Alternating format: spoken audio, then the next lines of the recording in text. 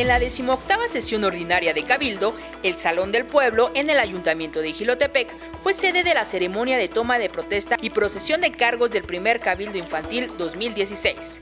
Al acto asistieron los ganadores de la jornada electoral, acompañados de sus padres y profesores. El alumno Axel Sánchez Martínez, de la primaria Miguel Hidalgo y Costilla, ganador y nombrado presidente por un día, ofreció a los asistentes su primer mensaje como alcalde infantil. Pues primero que nada quiero agradecer al presidente municipal Rivera que nos dio la oportunidad a los niños de que participemos en el Cabildo Infantil Presidente por un día. Hoy es un día muy importante para todos. Es el único, espero no sea el último, día en el que vamos a formar parte de un, de un cabildo. Por el momento.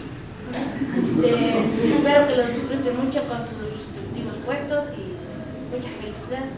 Los integrantes del ayuntamiento fueron sustituidos por su representante infantil, quienes ocuparon su cargo y acompañaron durante un día en la gira de actividades de gobierno. Que su trabajo y que, que evitaran la corrupción y que, ajá, que sobre todo que se enfocaran en la seguridad de los ciudadanos del municipio. La presidencia municipal otorgó un presente y un reconocimiento a los integrantes del primer Cabildo Infantil 2016.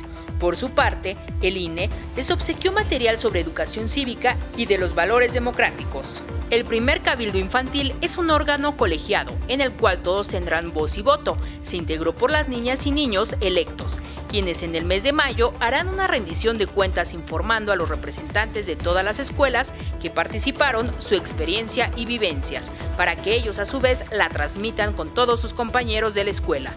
Para 360 Noticias, reportó Jessica Gómez.